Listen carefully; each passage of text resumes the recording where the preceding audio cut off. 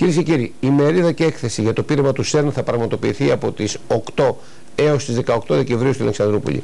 Ο πρόεδρος του Επιστημονικού Συμβουλίου της εταιρείας Πρίσμα Ελεκτρονικά, κ. Πέτρος Εκουλιά, τόνισε πως η συγκεκριμένη έκθεση έχει φιλοξενηθεί σε μεγάλες ευρωπαϊκές πρωτεύουσες, ενώ θα δώσει τη δυνατότητα στους πολίτες που θα την επισκεφθούν να ενημερωθούν για όλα τα μεγάλα επιστημονικά πειράματα. Υλικό του ερευνητικού κέντρου ΣΕΡΝ θα παρουσιαστεί στο κοινό της Αλεξανδρούπολης από τις 8 έως τις 18 Δεκεμβρίου. Το μεγάλο ερευνητικό κέντρο έχει τυποποιήσει το συγκεκριμένο υλικό ενώ η έκθεση έχει παρουσιαστεί σε μεγάλες πρωτεύουσες της Ευρώπης. Η έκθεση ενημερώνει τον επισκέπτη για το αστέρι του ΣΕΡΝ, τον μεγάλο επιταχυντή αδρονίων και τα τέσσερα σπουδαία πειράματα που γίνονται σε αυτόν.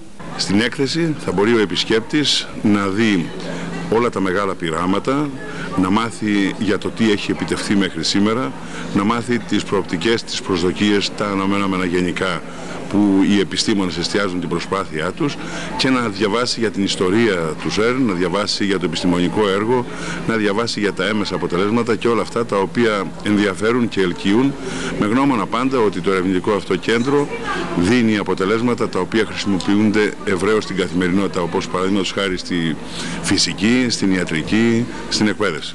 Είναι η πρώτη φορά που έκθεση αυτού του Πανευρωπαϊκού Επιστημονικού Οργανισμού παρουσιάζεται στην Ελλάδα και μάλιστα όχι μονάχα σε μία πόλη αλλά σε πολλές. Μία από αυτές τις πόλεις είναι και η Αλεξανδρούπολη. Το ΣΕΡΝ, σαν αποστολή, έχει τέσσερα πράγματα.